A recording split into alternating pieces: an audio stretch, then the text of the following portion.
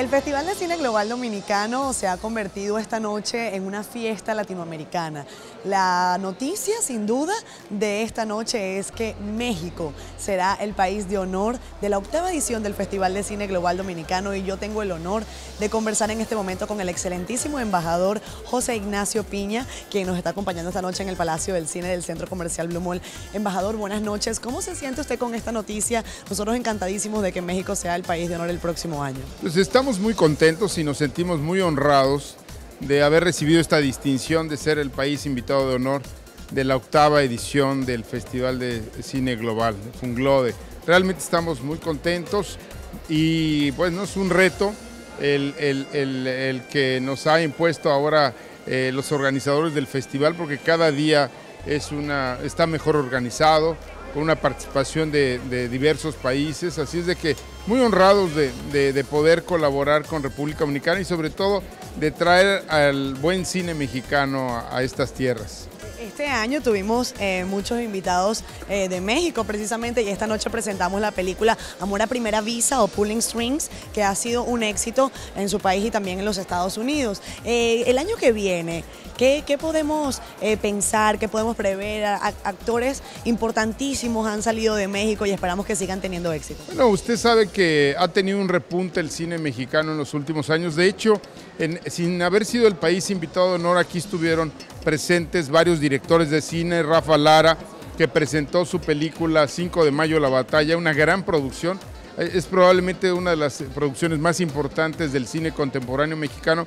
También estuvo el, director Carlos Cuarón, hermano de Alfonso, que hoy está muy de moda por la película Gravity. Y eh, Carlos presentó también una película Besos de Azúcar, Hubo otra, otra película. La película Eli. Eli, que va a estar participando por México en, el, en los Óscares. y, una más que hoy vamos a, ver, que es una comedia, pero pensamos que va a ser una, una, una muy divertida. Y bueno, sí, sí, eh, sencillamente creo que es un, reto importante. Creemos que debe venir un, grupo eh, representativo de, como ahora también hubo actores mexicanos y una actriz eh, Barraza, que claro...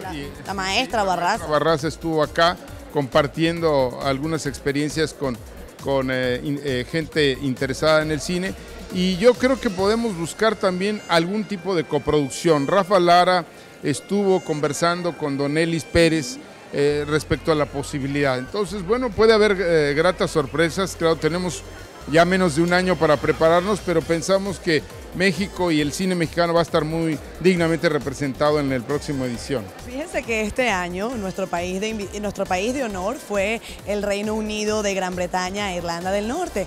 Pero hay que decir que la gala inaugural del Festival de Cine Global Dominicano siempre es algo que nos trae muchas sorpresas. Este año vimos el London Bridge, una producción espectacular de nuestro director de producción, Wandro Quiroz. Pero, ¿qué podemos imaginarnos para el próximo año? Porque México es un país con cosas estupendas, eh, una historia eh, latinoamericana, iberoamericana importantísima, el tema de los aztecas seguramente podría estar presente, tiene unas playas espectaculares, así que usted qué podría adelantar. Quisiera yo anticipar porque justamente yo lo que vi es que cada año ustedes se han ido, eh, realmente es un festival que está cobrando mucha importancia, no solo en República Dominicana, sino en el Caribe en general, así es de que bueno, nos han puesto un, reto interesante y vamos a ver qué, qué, sorpresas podemos traer.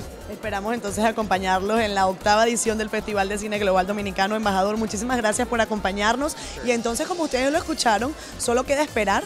Ya el reloj va a cuenta atrás porque faltan a partir de hoy aproximadamente 365 días para la octava edición del Festival de Cine Global Dominicano.